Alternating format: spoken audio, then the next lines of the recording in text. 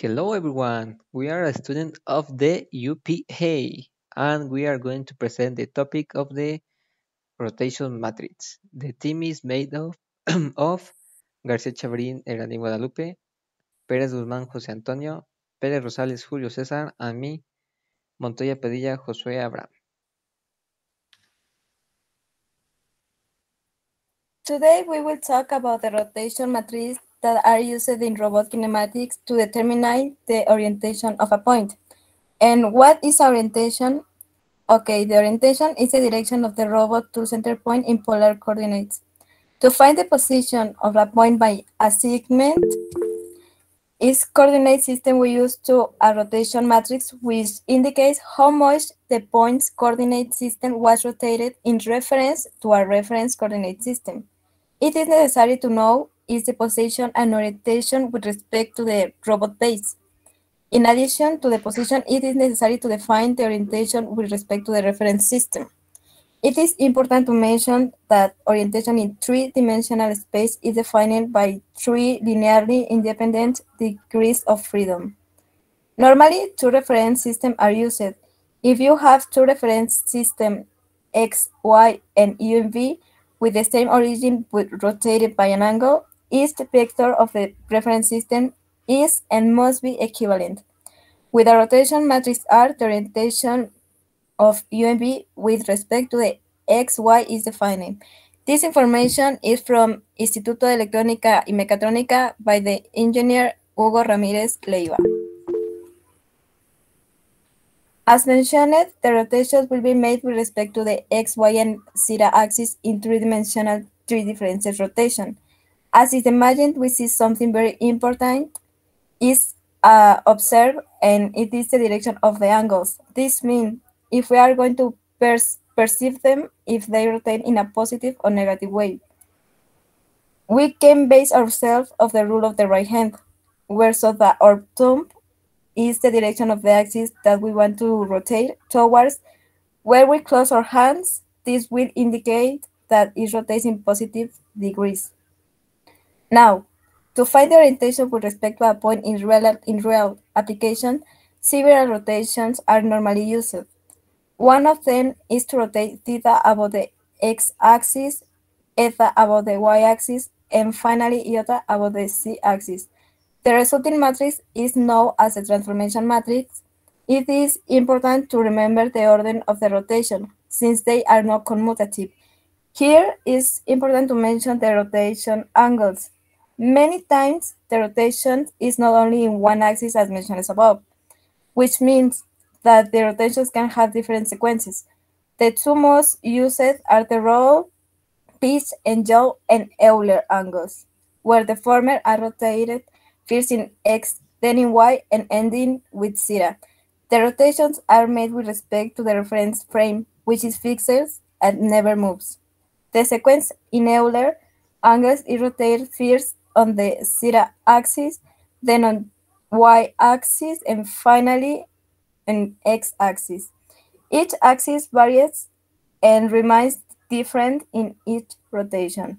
Knowing all the mentioned before, it is clear that mainly in three-dimensional way we have three rotation matrices, one of each axis, with the parameters in sines and cosines, where this will be multiplied in case the system has more than one rotation.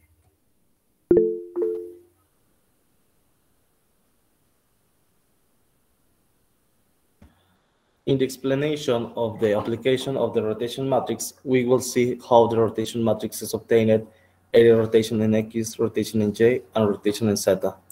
The rotation matrix allows us to algebraically, algebraically define the rotation chains of the robot element in 3D space.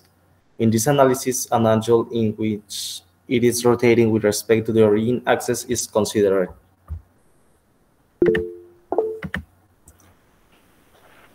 In the following figure, we can see two coordinate systems 0 and 1, as can be seen the origins of the of this system coincide, but their orientation is different.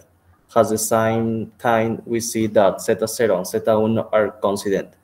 This means that system 1 had a rotation in z-axis at a certain angle, which this case is theta. Being being y1 the new rotation of J0 and x1 the change of x0. Now we are looking for the way to represent the rotation of system what with respect to 0 based on the angle that differentiates them and for this it is necessary to know the components of each vector along the xy axis. In the figure, we can see that one A1 and A2 are components on X1 and B1 and B2 will be the components of Y1. The sum of these components is the way in which the new orientation of an axis is represented.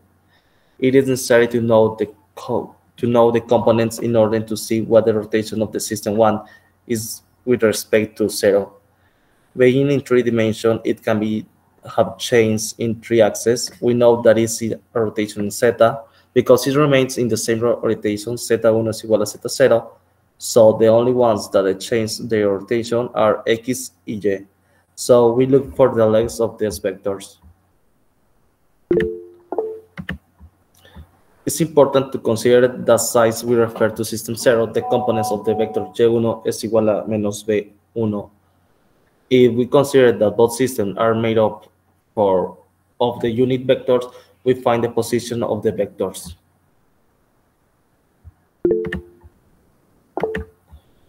The following vectors indicate the rotation of each of the axes y, x, and z, although z remains in the same orientation.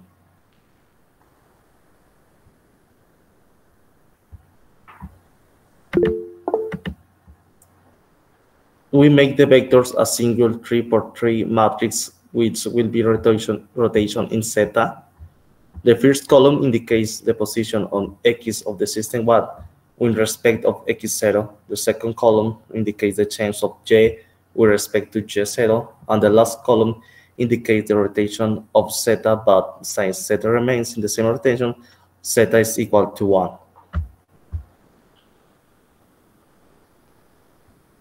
The previous analysis was done based on the rotation of z-axis.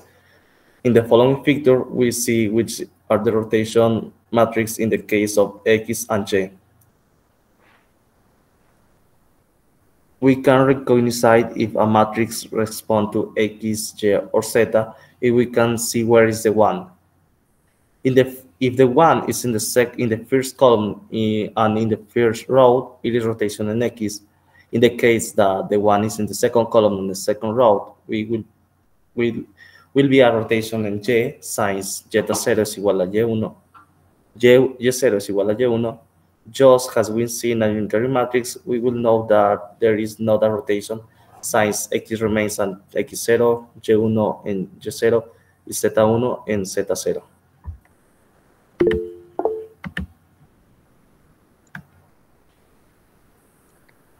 Now let's talk about how to use the rotation matrix. To identify in which case we can use the rotation matrices, we have to check that two axes change orientation with respect to the remaining axis. That is, if the x and y axes change, the zeta remains fixed. Let's check the following case. We can see that there is no rotation in the system, only translations. Since x, y, and z axes remain in the same direction, in case there is rotation, we must work with the homogeneous matrix. We will see the homogeneous matrix in the next video. In the following system, there is a rotation. First, in the it is a zeta rotation, that is, the x and y axis rotates about the zeta axis. And if we use the right hand rule, we see that the rotation is positive. Then we see that the x and zeta axis change orientation with respect to the y axis. So it is a rotation in y. Finally, the x and y axis rotates about the zeta axis again. It is important to mention that rotation metrics are not commutative, so if, if the same rotation are performed in a different order, the result is different.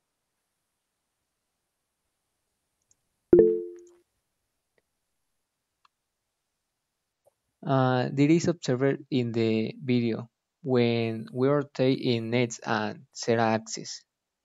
In the, the result is different because in one start with Z axis and the second one start with uh, X axis.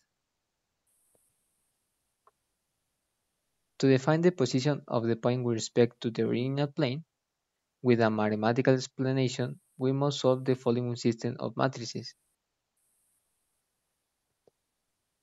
Uh, but first, now we will see what happens if we apply apply it to a point. If we rotate the system, the point change will the point will change position with respect to the original plane and it remaining at the same point in a rotated plane.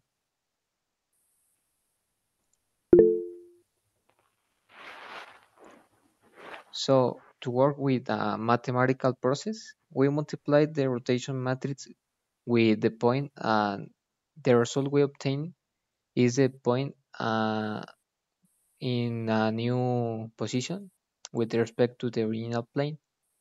But the point is is equal in with respect to the to the rotated plane. So to calculate the position of the point when performing several rotations we must multiply the rotation matrices in order and at the end of the result matrices is multiplied with the position of the point.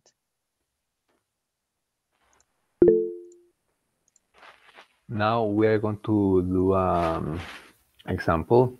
We are given this problem and it says that we have two rotations, one in x of 45 degrees and the other in z of 90 degrees. At the same time, we have a point. As each rotation matrix was previously present, only the degrees that rotate are um, substituted. In the case of rotation x, the value is root of 2 over 2 in the case of cosine and sine. And in C, it is 0 for cosine and 1 for sine. The solution can be obtained as the next way. The, so the first row by the first column gives give us the result of the first value of the 3 by, 3 by 3 matrix. The, um, the second row by the first column give, give us the value of the position column 1, row 2. And to the finish, the first column, we need to multiply the third row by the first column so we know the value of the column position row column 1 and row 3 and we carry out the procedure with the two remaining columns. So row by column is multiplied and as a result of the rotations, we have another matrix. Now this is multiplied by the point in the same way as before and we obtain the resulting point. It only remains to wrap the original system, the rotated system and the new point with respect to the original system.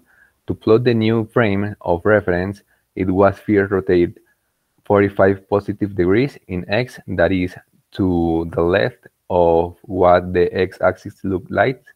like. After the z-axis is rotated 180 degrees to the left again because they are positive degrees and we get x1, y1, and z1. The start point is in the same position as the end point used in the new reference frame. And this is the way we finish the exercise. And we have the result. The result in x is less 1, in y is less 2.1, and in z is 4.9. In the graph, we can see the new system of reference or the x1, y1, and z1 respect to the original system reference. And we can see the two points, the, po the initial point and the final point. Um, this is all for the subject. The subject was matrix of rotation. And we are going to talk about the homogeneous matrix in the next video.